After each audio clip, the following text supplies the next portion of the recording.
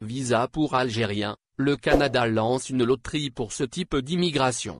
Algérie-Canada, dans le cadre du regroupement familial, le Canada lance un système de loterie pour immigration permettant aux étrangers installés dans le pays, de parrainer leurs parents et grands-parents afin de les rejoindre.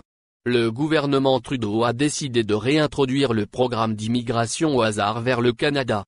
Une formule basée sur la loterie de type regroupement familial.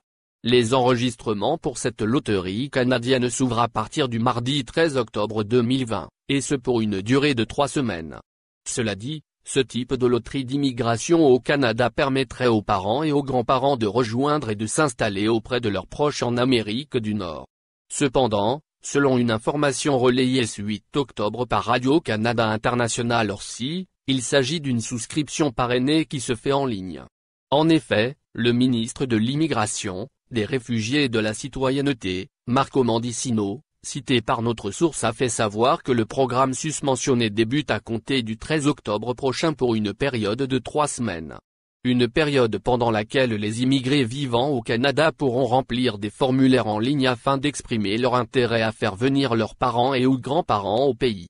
Par ailleurs, RCI a précisé que le département d'immigration, Réfugiés et Citoyenneté Canada fera une sélection au hasard durant ces trois semaines, en invitant 10 000 personnes à soumettre des demandes de parrainage. Ces derniers auront 60 jours pour le faire, a-t-on indiqué.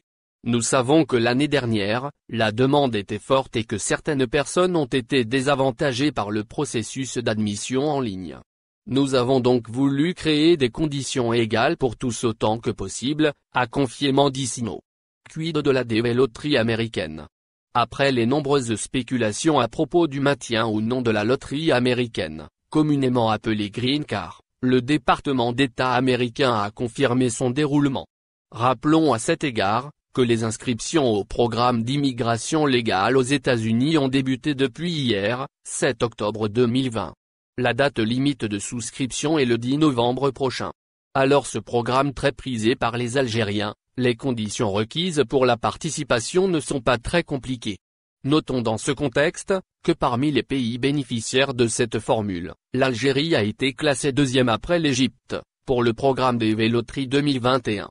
Par ailleurs, tout candidat né dans un pays éligible ou originaire d'une dépendant point virgule ou d'un territoire d'outre-mer, peut participer à la loterie américaine DV 2022, en sélectionnant le pays d'éligibilité approprié. N'oubliez pas abonnez-vous à notre chaîne Info Électro et activez les notifications pour recevoir nos publications en temps réel.